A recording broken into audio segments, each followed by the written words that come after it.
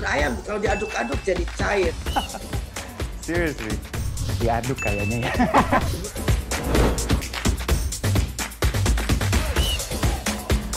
Oh, perlu luar negeri gimana ya? Ini demi kemajuan bangsa Indonesia.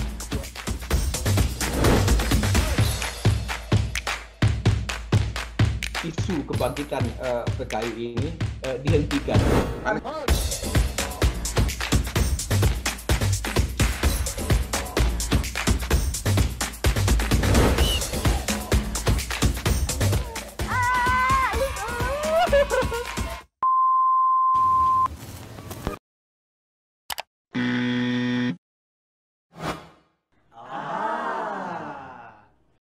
Medcom.id, a part of Media Group News.